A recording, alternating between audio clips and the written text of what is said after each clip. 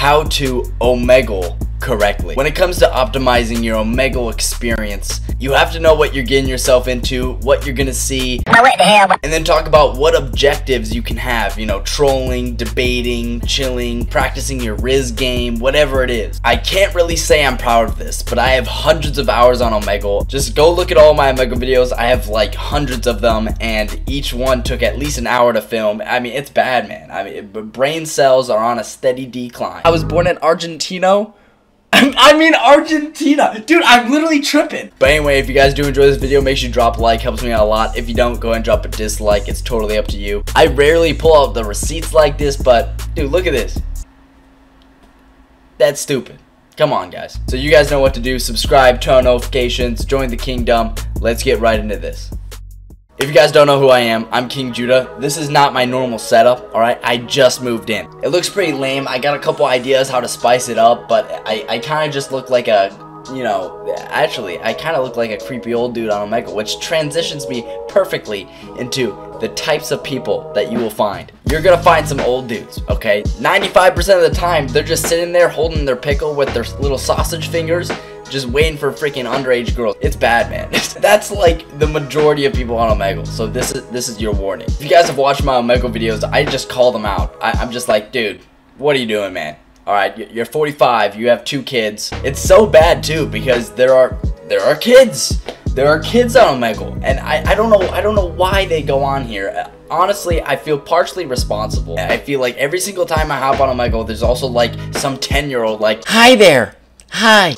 I'm always just like, dude, just just get off of this website, man. Like, why why are you on here? You're you're you're like nine years old, okay? When I was nine, I was playing with Legos, okay? I'm not on Omegle, all right? When you run into these kids, you got a couple options. Number one, tell them to get off the website, okay? Most likely, they're not gonna listen because they're freaking kids.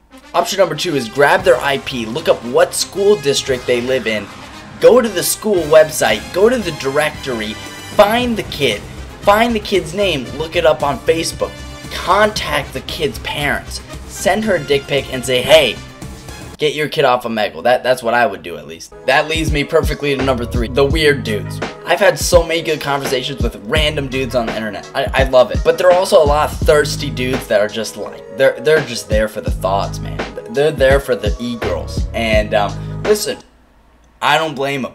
But my god, like, you, did not pass the vibe check, dude. They're the weird kids. They're the weird kids, you know? And, and listen, I'm, I'm not the most normal dude in the world. City was a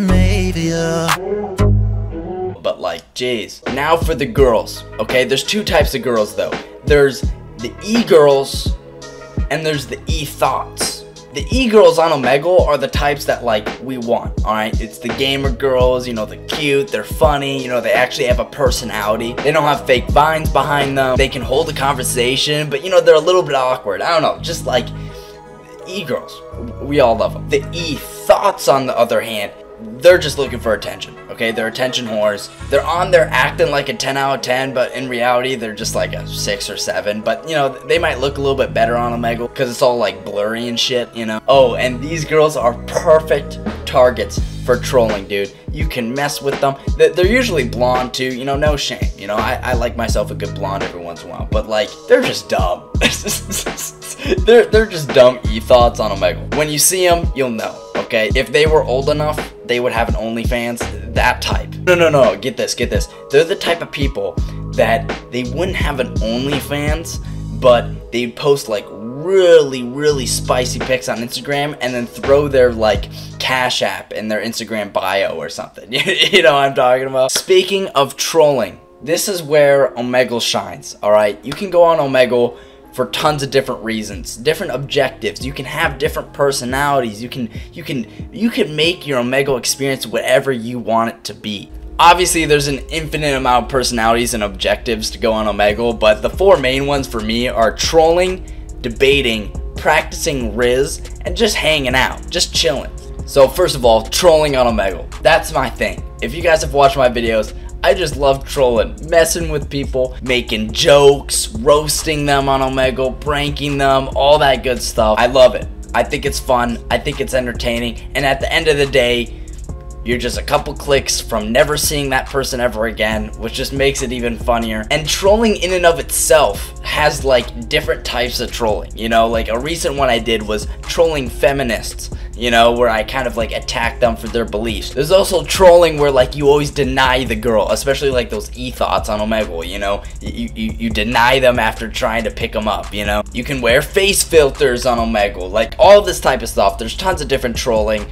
That's that's fun. That's fun to do. Another reason people go on Omegle is debating. Believe it or not, one of the most popular Omegle tags is Donald Trump or just Trump.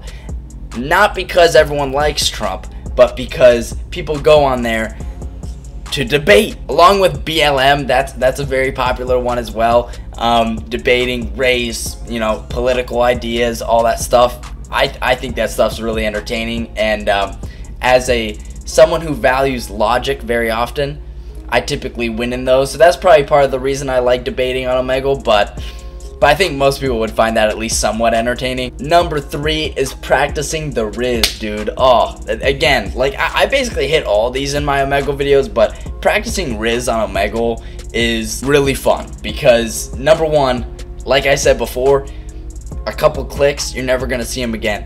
And number two, a lot of them are thirsty on there, man. I, am there's not a lot of girls that go on Omegle, right? Obviously, it's like I would say five or six to one when it comes to like man to female users on Omegle. But when you do get a girl, usually they're pretty thirsty because, you know, why else are you on Omegle? You know, oh, hey, why are you on Omegle? No, I'm just chilling out. No, man, they're looking for attention. They're looking to have a good conversation with a dude, you know? And it's fun to rizz them up. It's good practice. Number four, you just go on there and chill and and that's when like the cool dudes show up you know you can have a con- like a 25 minute conversation with another dude just talking about random crap you know going on in your life or school.